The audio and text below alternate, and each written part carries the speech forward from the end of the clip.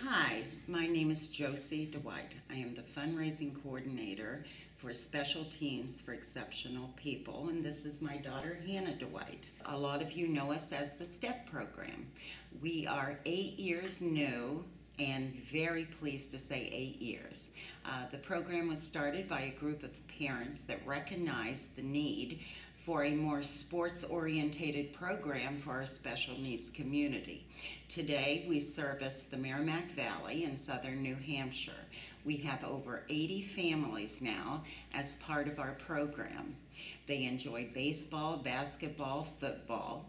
Uh, we also have swimming this summer. Uh, we have monthly dances, which all the children love and is open to the public. We also have family days and all kinds of outings.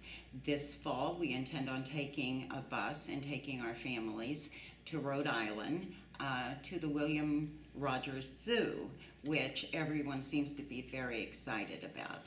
And many of these children would not get out and socialize to the degree that they do today because there just isn't enough for our special needs community. Uh, we are a nonprofit. We hold four fundraisers a year cornhole. We have our bowl-a-thon, which is amazing, and all of our children and the families truthfully participate 100% in this.